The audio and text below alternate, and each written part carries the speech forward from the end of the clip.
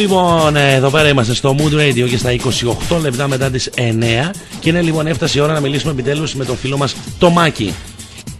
Μάκη, Καλησπέρα. γεια σου Μάκη, τι κάνεις; Καλησπέρα καταρχήν ε, Πέτρο σε σένα. Όχι παιδί μου σε μένα. Πρώτα θα πεις καλησπέρα στην Κρίστη, στη μία και μοναδική Κρίστη. Τη φίλη μου την Κρίστη και να καλησπερίσω και όλους τους διαδικτυακούς ακροατές σας. Βεβαίως, καλά κάνεις, βεβαίως, καλά κάνεις, πολύ καλά κάνεις. Βε- Κρίστη, πες του Γιατί του έχουμε παιδιού. και email εδώ για σένα, μας στέλνουν, περιμένουν να σε ακούσουν τόσοι πολλοί. Ναι, μας έστειλε, μας έστειλε ένα email ένας φίλος Ο σου Νίκος. μάλλον. Ο, ο Περίμενε. Νίκος. Ο Νίκος. Να είναι καλά ο Νίκος στην αγάπη μου.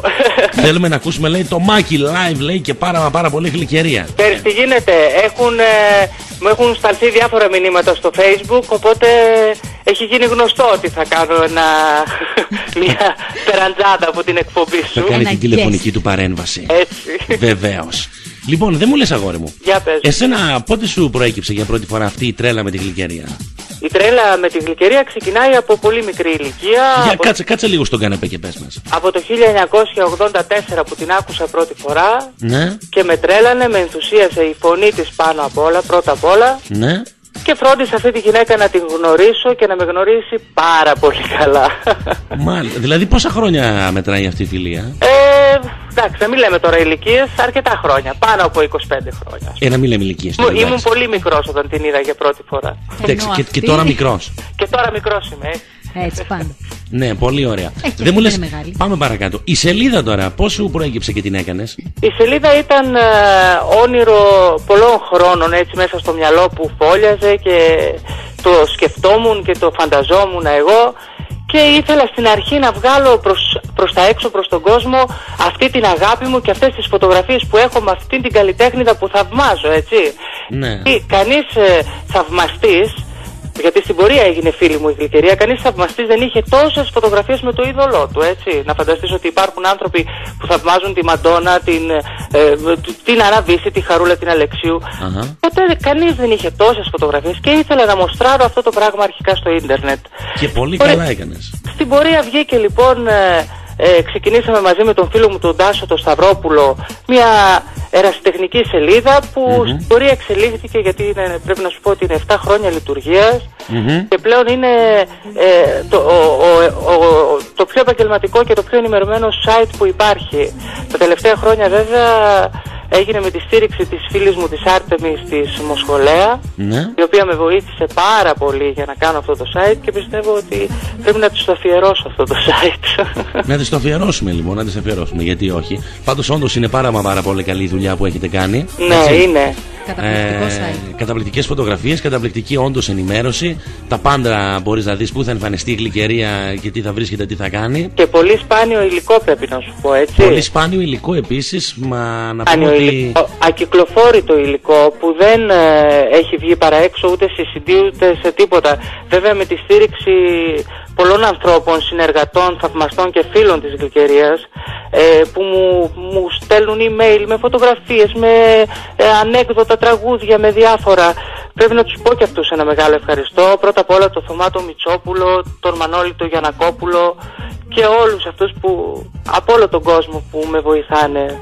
Γιατί πρέπει να σου πω ότι ε, έχουμε επισκεψιμότητα από όλο τον κόσμο, από, από μέρη που ούτε καν πίστευα ότι θα μπορούσαν να, να, να ξέρουν αυτή τη γυναίκα και να την αγαπάνε και να τη λατρεύουν τόσο πολύ. Εγώ να σου πω, το βρίσκω λογικό αυτό το πράγμα. Έτσι. Η γλυκερία δεν είναι μια τυχαία φωνή τέλος πάντων ε, στην ελληνική δισκογραφία. Είναι μια γυναίκα με πολύ μεγάλη πορεία πίσω της, με πάρα πολύ μεγάλες επιτυχίες και φυσικά με μια καταπληκτική φωνή.